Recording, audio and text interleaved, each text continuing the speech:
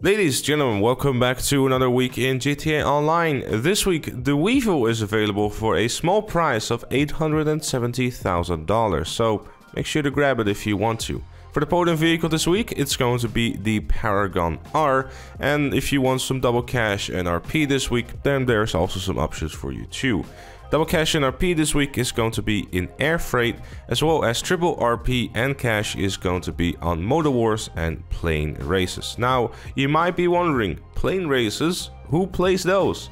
Exactly, nobody. So now you have a reason to go and check them out once again. And if you want to make some money this week, personally I'd say just stick to Cayo Perico Heist this week. Uh, I mean, it might be fun to go out there and try some Motor Wars or some plane races again, but hangars, I personally never been a fan of, so unless you have something inside of your hangar already that you can sail, then go for it. But other than that, I wouldn't really go out of my way to start filling up my hangar, because in my opinion it's arguably the worst business in the game. Sometimes I even forget that it exists. For discounts this week, there's 30% off hangars and hangar renovations, 40% off the Cyclone, Vision, Havoc, Valkyrie, and 25% off the Alkonost and the Stealth Annihilator, which is pretty surprising considering that this DLC has been out for like 3 weeks. And for Prime Gaming there is as always the free Kosatka Solar Station as well as $200,000 given to you for free, as well as 35% off the patrol boat, the longfin and the weaponized dinghy, which has been released today. So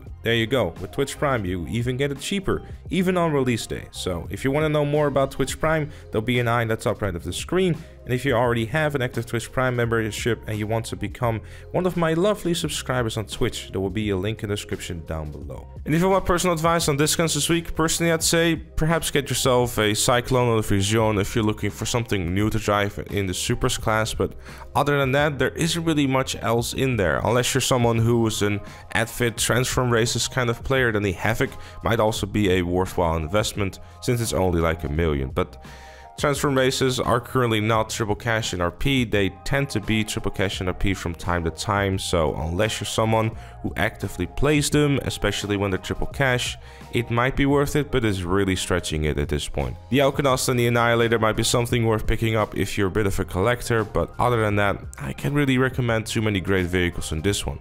The pre-race for this week is going to be Muscle In Lock 2 Muscles, which I mean, I, I guess the name kind of gives it away. The car you want to be using for this one is either going to be the Pisswasser Dominator, the Yosemite, or the Clique. The Clique is probably the easiest one to drive, in all honesty.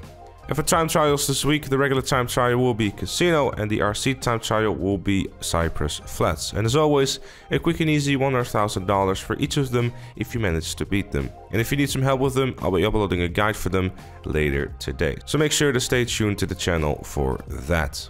But with all that said and with all that done, that was it for this one. Thank you also very much for watching. Leave a like if you enjoyed, subscribe for more, and if you really like what you saw, consider becoming a member, like Arus, Chloe, Ripsticks, and Doctor Strange Love.